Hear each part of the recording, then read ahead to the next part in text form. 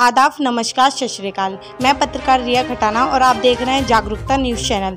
थाना सेक्टर अट्ठावन, नोएडा। अपने दुकान मालिक के तीन लाख पच्चीस हज़ार रूपए लेकर भागने वाला अभियुक्त किया पुलिस ने गिरफ़्तार। कब्जे से बरामद हुए दो लाख सैंतीस हज़ार तीन सौ रूपए।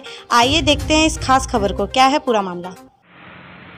देखिए सोलह जुलाई को सेक्टर 58 थाने पर एक अभियुक्त पंजीकृत कराया गया, जिसमें वादी का यह आरोप था कि उनके यहाँ लगभग आठ दस सालों से काम करने वाला एक व्यक्ति था, प्रदीप, जो हमीरपुर का रहना, रहने वाला था।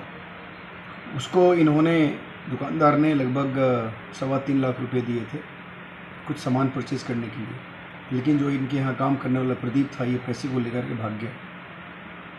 उनके एप्लीकेशन पे हम लोगों ने इसमें अभियोग पंजीकृत किया और उसके बाद इसके छानबीन में लग गए हमारी फोर्स और हम लोगों ने आज उस प्रदीप नामक व्यक्ति को गिरफ़्तार किया है और उसके पोजीशन से उस तीन लाख पच्चीस हज़ार में से दो लाख सैंतीस हज़ार रुपये हम लोगों ने बरामद किए हैं।